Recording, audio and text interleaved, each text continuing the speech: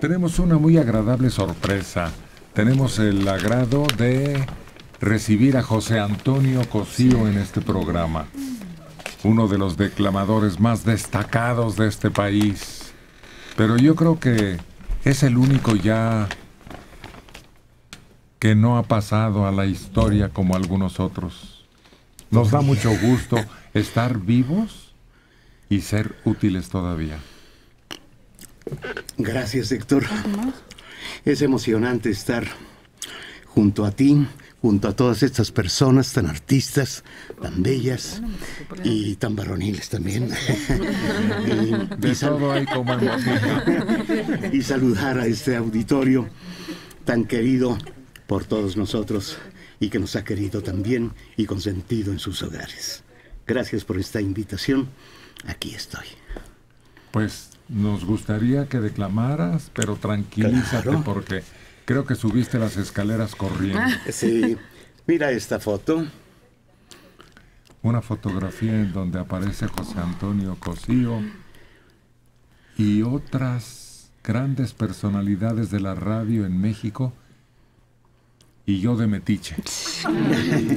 y tienes en tus manos un disco de El Cristo Roto. Sí, justamente eso celebrábamos en W. Entonces nos tomamos esta foto.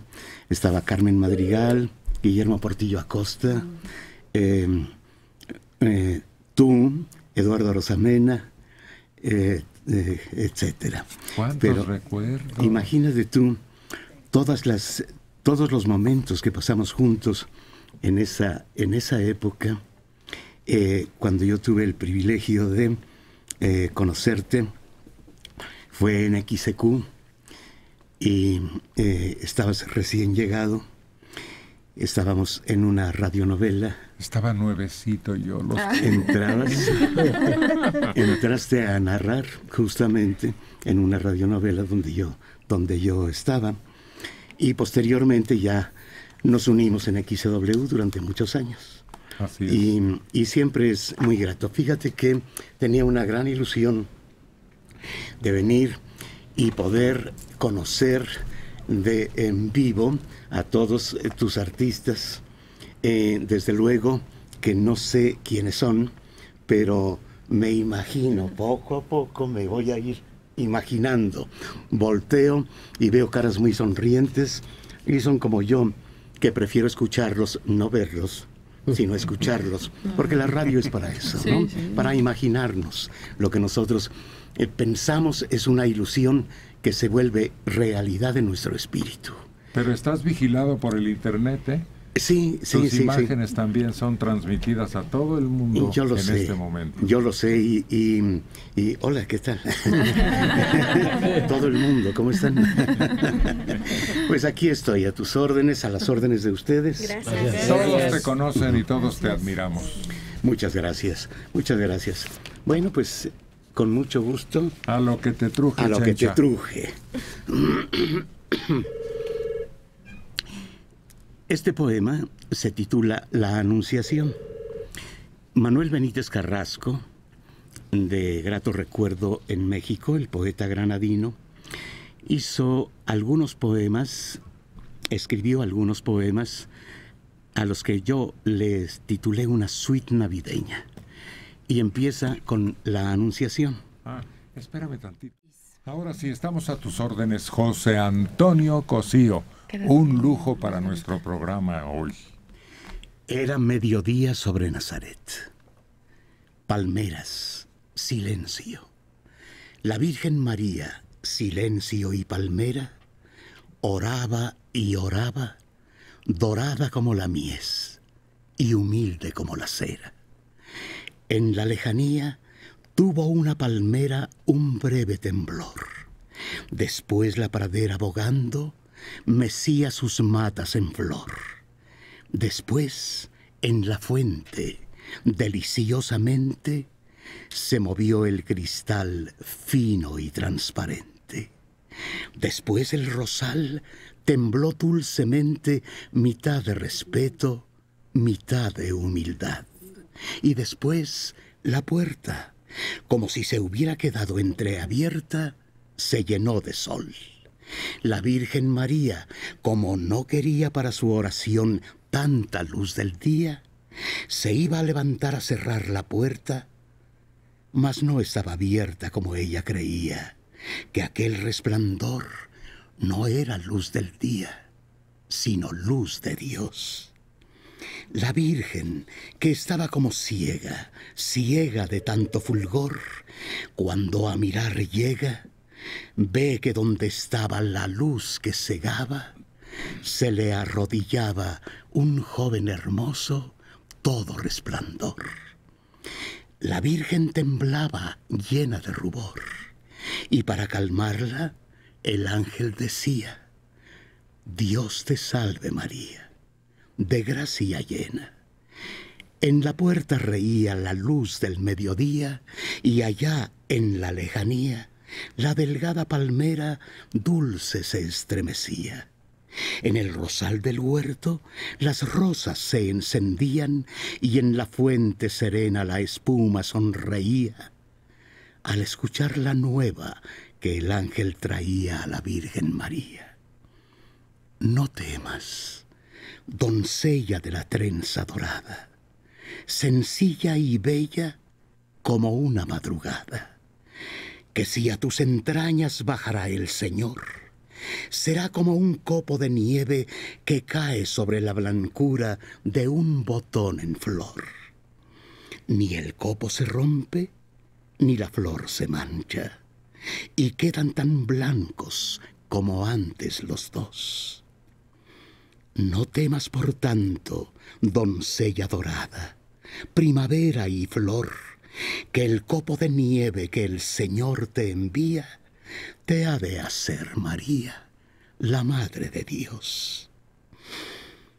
Sintió en sus entrañas un soplo de amor el aire del huerto quedó en oración, mientras que la Virgen, que estaba humillada, nieve a pleno sol, se sintió de pronto la Madre de Dios. gracias,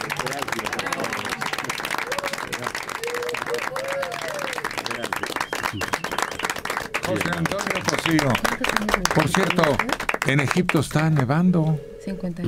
Lo que no ocurría hace más de 100 años, dicen. Pues ¿Lo tienes grabado esto? No, no he grabado nada de esto y tengo unas ganas inmensas, no de llorar, sino de grabar. este, todo, toda la poesía. En vida habíamos quedado, Manuel y un servidor, de que yo iba a grabar. ¿Cuál Manuel? Manuel Benítez Carrasco, ah. el autor, el, poeta. Pero no, murió y no se hizo, pero tengo la esperanza todavía de, realizarlo. ¿Y grabado qué tienes aparte del Cristo? bueno, pues... Eh, ¿O eh, sigue vigente? Mm, sí, sigue vigente el Cristo roto. Eh, grabé en mi vida, grabé 41 discos, de los cuales yo solamente conservo bueno, ahí en casa de los discos como unos 8 o 10. Y, imploro a mis amigos que, que, me dejen copiar algo de aquello que grabé. ¿Ya no lo tienen las compañías o ya, no, existen? No, no, no. Ya em, todo, todo se fue vendiendo, ¿verdad? A distintas partes y, y no, no quedan no quedan. Ya este, en donde estuve como exclusivo, que fue Musart, em, sacaron ahora un álbum con tres discos míos y punto, ¿no? Mm, eh, eh, las otras marcas tienen algunas cosas, pero pues ya no, ya no, ya no están. Ya he preguntado. ¿Cómo? Entonces no podemos anunciar algo que te reditúe a tú Ah, bueno, bolsillo algo? Sí, claro, todavía tenemos dos discos de poesía, dos discos de poesía de las de las de las clásicas, ¿no? De las ¿A dónde se solicitan? Pues mira, si hay interés. Sí, sí hay interés a, en Praga 40, Praga 40 en ah, la zona eres, rosa. eres catedrático ahí, ¿verdad? Me dicen.